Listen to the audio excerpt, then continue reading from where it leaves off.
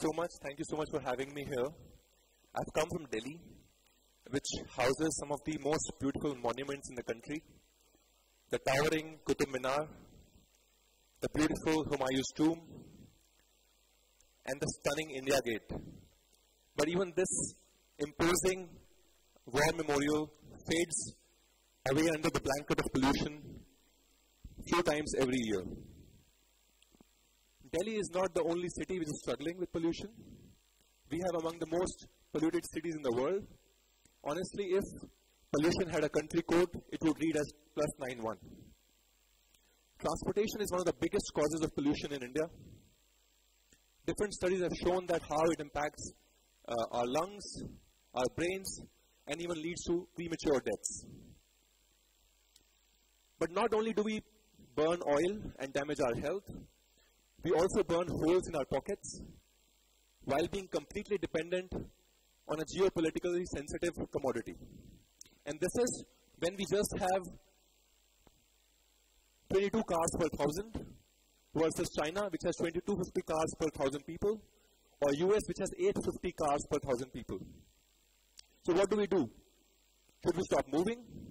No, I think we need to move more because mobility is directly proportional to the economic development of the country. Should we carpool? Yes, we must carpool, but we still need vehicles. Maybe what we can do is we can replace these this polluting and economy damaging fuel with electricity. So presenting to you my electric car. Actually, this was gifted to me by my secret Santa at my last job. I couldn't really drive it, but I could drive this one. And honestly, what a ride. And if I had not known about electric cars, I would feel, I would, I would be shocked.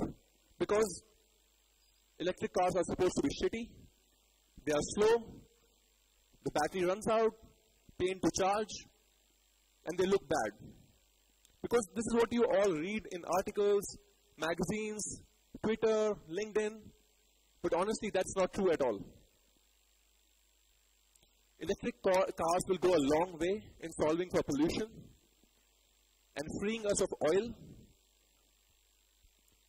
And let's look at how. So this Kona goes 450 kilometers on a single charge, and you can fill the full battery under 300 rupees. Just in case you're wondering how on the earth is that possible, electric vehicles just don't waste energy like combustion engines. They are at least four to five times more efficient and cheaper to run. So even with higher upfront costs, they make an economic case today. Also, the math will get better every day because the conventional vehicles will keep getting expensive because of stricter regulations due to environment damage, while at the same time, the electric vehicles will continue to get cheaper because of the increase in demand and falling, falling battery prices.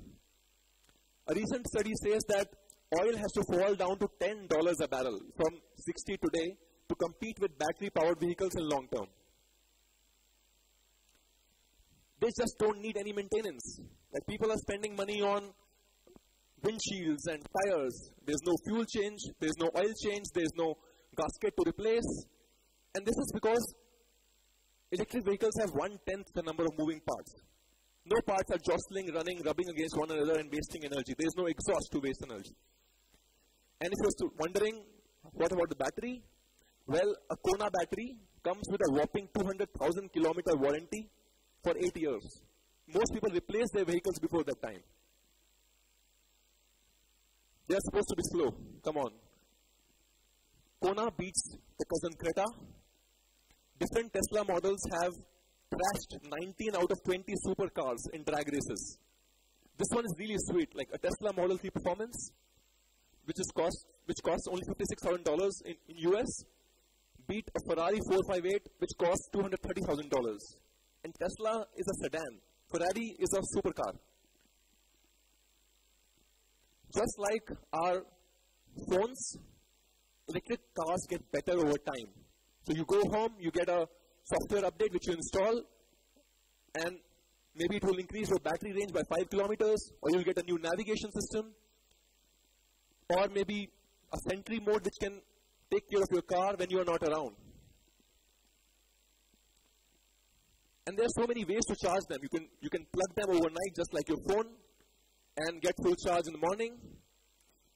You can charge them at a fast charging station outside your home. And depending on the type of vehicle, the battery, the full battery can charge from 20 25%, uh, 20 25 minutes to one hour depending on which vehicle it is. Like for Tesla Model 3, you can charge 80% in 20 minutes, a Kona in one hour, an FL scooter which we just saw in one hour.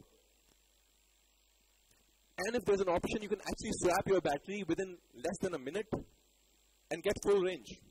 Swapping is a really useful concept which has been proven by Gogoro in Taiwan, wherein as a consumer you can buy the vehicle without the battery, and then which reduces the upfront cost of the vehicle, makes it probably below the IC vehicle, and then you can use the battery on paper go basis. While the electricity today is still largely powered by thermal, but it's getting cleaner by the day because of tons of solar and wind power which is being added to our grid every year. And if you want clean electricity from day one, you can actually set up your own solar rooftop, or you can charge your vehicles at a solar powered charging station. Because the batteries are modular, you can stack them beautifully like the skateboard, and this opens up so many design innovations. Like this is this is like a canvas for an artist. You can do anything with this. So many electric car companies have used this design option to create a space in the front, which is called frunk. Moreover, electric vehicles don't cause any noise. They don't, you can't steal fuel from them and they use regenerative braking, which means the energy which is lost in braking can be used to actually store in the battery.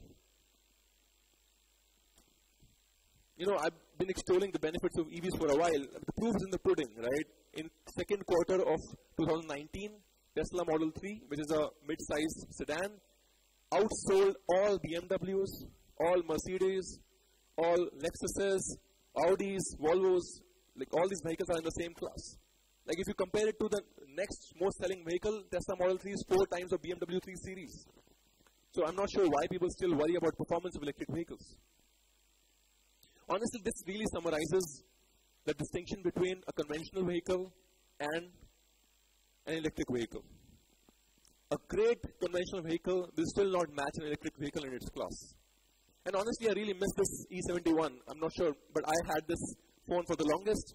I have good memories. But I don't want it anymore because I have moved on to better things. And the same will happen with cars. Once you buy electric vehicles, cars, scooters, you would not want to go back to these fuel guzzlers. And it's not really only about two wheelers or three wheelers or cars. This is a 110 ton truck which is being used in a mine in Switzerland, fully electrically powered. And ultimately, everything that moves, or below ground, on ground, above ground, in water will be electric, except for orbital rockets because, as Elon Musk says, uh, there's no escaping Newton's third law. You still need that action reaction to move the rockets up. And it's really happening. We're not talking about a distant utopia here. Last year, 2.1 million electric vehicles were sold all over the world. This year, we'll see 3.1 million vehicles sold. Norway has already seen more than 50% vehicles as electric month on month. China has 500,000 electric buses, millions of cars and scooters. We also have a strong momentum in India, especially in two-wheeler segment and in shared mobility. The fact is that electric vehicles are so cheap to run that they are no brainer for, for shared mobility. So anyone who runs a last mile logistics in India, anyone who runs a shared passenger vehicle is scampering to figure how they can transition from ICE to electric vehicles. The next three years will be momentous for India.